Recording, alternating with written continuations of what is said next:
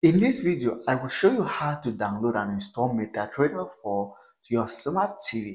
If you find this video helpful, like and subscribe to YouTube channel for more important videos like this.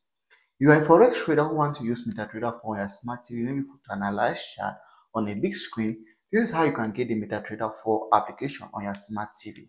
So what you have to do is to come over to this application now. In what I'm about to show you, you don't need Google Play Store or App Store on your smart TV we're going to be using an application called Downloader. Downloader is an um, application I love so much because it helps you source files, documents, apps from across the internet and can get them to your smart TV. If you don't have on your smart TV, just check the description of this video. There is a guide there on how to get Downloader to your smart TV.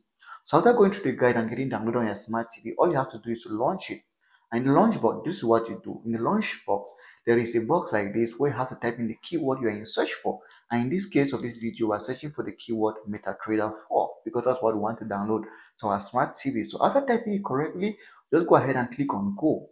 Once you click on go, Downloader is going to show us the sources on the internet where we can install MetaTrader 4 to our smart TV.